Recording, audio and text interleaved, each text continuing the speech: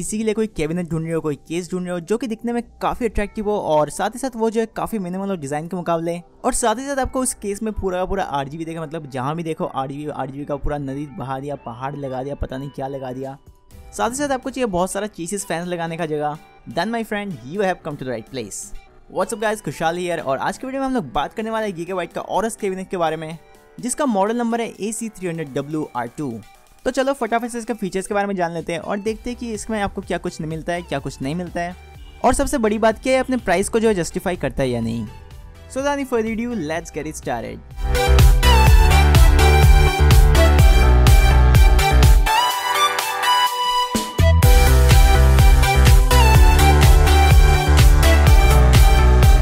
सबसे पहली बात जो मैं इस कैबिनेट के बारे में बताना चाहता हूँ, वो ये है कि अगर आप इस वीडियो को लाइक करते हो तो इस वीडियो को लाइक कर देना चैनल को सब्सक्राइब कर देना और कमेंट करके बताना कि आपको ये कैसा लगा है। जी हाँ मैंने इस बार पहले ही बता दिया क्योंकि आप लोग जो पूरा वीडियो देखते नहीं हो तो पसंद आता है तो लाइक कर देना गाइस और सब्सक्राइब कर देना चैनल को। ओके शुरू करते हैं इसका प्राइसिंग से। तो इसका प्राइसिंग जो है अमेजोन में रखा गया है फाइव थाउज़ेंड बट मैंने इसको ऑफलाइन से खरीदा है एग्जैक्ट सेम प्राइस में। तो अगर आपके लोकल में ये केस चीप में मिल जाता है तो आप वहीं से ले लो।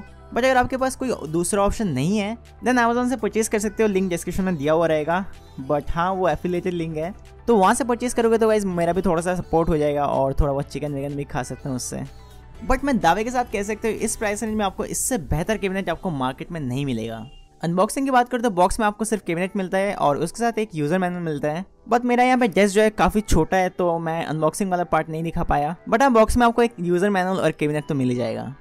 और आप जब इस कैबिनेट को खोलोगे मतलब कि इसका पार्ट्स को अलग करोगे तो वहाँ पे आपको हार्ड डिस्क का स्लॉट में एक बॉक्स मिलेगा और बॉक्स में आपको बहुत सारा कंपोनेंट्स मिलता है इसके साथ। जैसे कि ग्राफिक कार्ड शील्ड या फिर इसको पता नहीं क्या बोलते हैं, जो कि ग्राफिक कार्ड की जगह लगता है।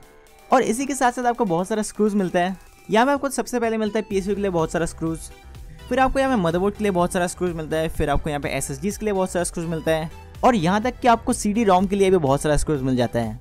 यहाँ पे आपको हार्ड डिस्क के लिए भी बहुत सारा स्क्रूज मिल जाता है। और आपके मदरबोर्ड के अटैचमेंट के लिए बहुत सारा स्क्रूज मिल जाता है। एंड फाइनली यहाँ पे आपको मिलता है टेन जिप टाइज लिटरली यहाँ पे आपको केबल मैनेजमेंट के लिए जिप टाइज भी ये प्रोवाइड कर रहा है, जो कि काफ़ी अच्छी बात है। और ये छोटी छोटी बातें हम लोग को बहुत खुश कर देते हैं। तो शुरू करते हैं डिज़ाइन एंड बिल्ड क्वालिटी से। डिज़ाइन की बात करते हैं, इसका डिज़ाइन जो है काफ़ी कूल है, काफ़ी अट्रैक्टिव है और काफ़ी क्लीन है। और ये कुछ कुछ मुझे याद दिलाता है N G X T S three forty Elite का। क्योंकि यहाँ पे सामने की तरफ़ कोई फैंस नहीं दिखता है कोई फ्लॉपी ड्राइव नहीं दिखता है। और यहाँ पे कोई सी जी रोम का जगह भी नहीं है। टोटली क्लीन लुक है इसका। जहाँ यहाँ पे ऊपर की तरफ़ आपको थोड़ा बहुत एलईडीज मिल जाता है। और फ्रंट में एकदम बीच में आपको गीगाबाइट का और इसका लोगो मिल जाता है, जो कि लाइट अप होता है इन सिक्सटीन मिलियन कलर्स और नीचे की तरफ़ भी आपको यहाँ पे एलईडी शोकेसिंग मिल जाता है, जो कि काफ़ी कुल लगता है डार्क कंडीशन में। और अगर आप इसको डेस्क में रखते हो या फिर आपके टेबल में रखते हो तो ये जो है आपके डेस्क में जो लाइट रिफ्लेक्ट करेगा, वो देखने में काफ़ी कुल लगता है in dark condition left side में यहाँ पे आपको टोटली ट्रांसपेरेंट कवर मिल जाता है, जिससे कि आपको पता चलेगा कि आपके पीसी के अंदर आखिर क्या चल रहा है। और हाँ एक और बात, सामने का जो टेक्सचर दिया गया यहाँ पे, वो मुझे काफ़ी पसंद आया।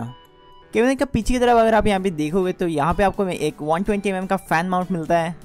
और साथ ही साथ आपका ग्राफिक कार्ड को वर्टिकली या फिर हॉरिजेंटली माउंट करने के लिए यहाँ पे ग्रिल्स दिया गया है। तो इस कैबिनेट के साथ अगर आप चाहो तो अपने ग्राफिक कार्ड को शोकेस कर सकते हो या फिर नॉर्मल तरीके से भी लगा सकते हो। का टॉप साइड की बात करें तो यहाँ पे आपको मिल जाता है फ्रंट आईओ पैनल, जहाँ पे आपको एक लाइट स्विच मिल जाता है, जिसके ज़रिए आप अपने केस का लाइटिंग को ऑन या फिर ऑफ़ कर सकते हो। उसके बाद आपको यहाँ पे मिलता है 3.5 पॉइंट हेडफोन एंड माइक का पोर्ट उसके साइड में ही आपको यहाँ पे मिलता है एक USB type C port two USB 3.1 port one H port और ये जो छोटा सा लाइट दिख रहा है ना, ये है हार्ड डिस्क का रीडाइट इंडिकेटर जो कि दिखने में काफ़ी अट्रैक्टिंग लगता है क्योंकि ये जो छोटा है और काफ़ी पावरफुल भी है। और लास्ट में यहाँ पे आपको मिलता है पावर बटन जो कि बैकलिट है व्हाइट एलईडी से। तो इन टर्म्स ऑफ़ लुक इसका फ्रंट पैनल जो है काफ़ी प्रीमियम लगता है। टॉप साइड में यहाँ पे आपको दो 120 ट्वेंटी mm फ़ैन माउंट भी मिल जाता है विथ मैग्नेटिक डस्ट फ़िल्टर तो अगर आपका फ़िल्टर में बहुत सारा धूल जमा हो जाता है तो आप इजिली इसको निकाल के फिर क्लीन करके फिर वापस डाल सकते हो। तो ओवरऑल इसका डिज़ाइन जो है काफ़ी क्लीन है, काफ़ी मिनिमल है।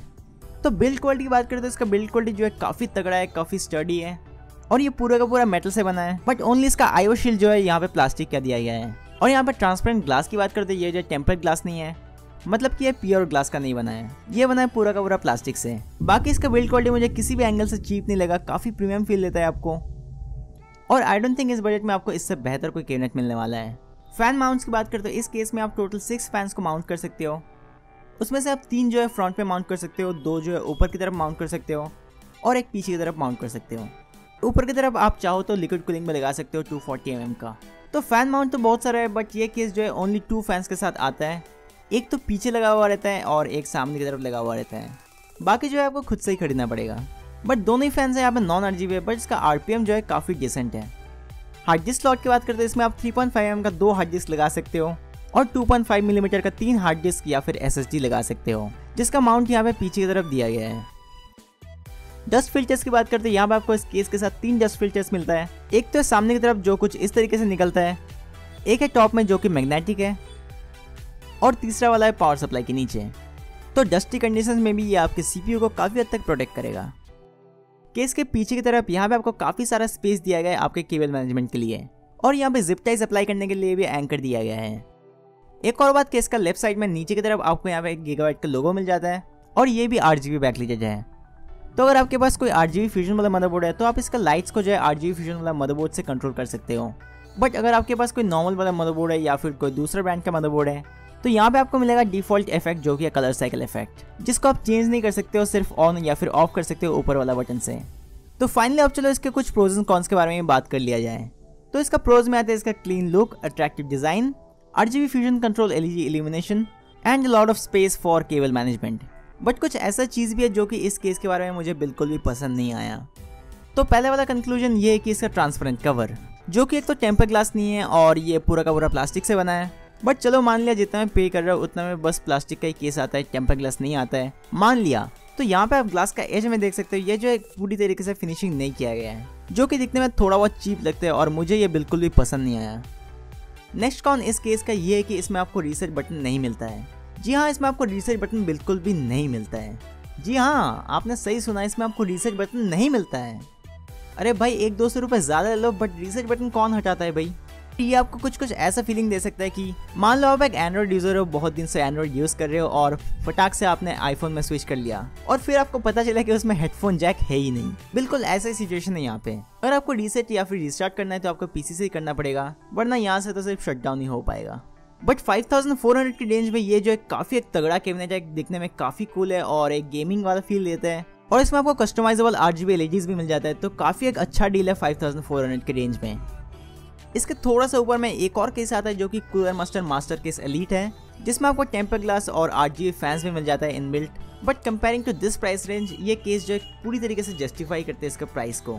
बट हाँ अगर आपके पास बहुत सारा इंटरनल हार्ड डिस्क का लगाने को तो आप डिसअपॉइंट ज़रूर हो जाओगे, क्योंकि इसमें जो है सिर्फ़ दो ही हार्ड डिस्क लगाने का जगह दिया है, और उससे ज़्यादा यहाँ पे एसएसडी माउंट दिया गया है. So that was pre much of it guys I hope कि आपको वीडियो पसंद आया है। और अगर आपको वीडियो पसंद आया है तो इस वीडियो को लाइक करना कमेंट करके बताना कि आपको वीडियो कैसा लगा है। और चैनल को सब्सक्राइब ज़रूर करना ऐसे क्वालिटी कंटेंट्स के लिए। और मैं आपसे अगले वाले वीडियो में मिलता हूँ। तब तक के लिए बाय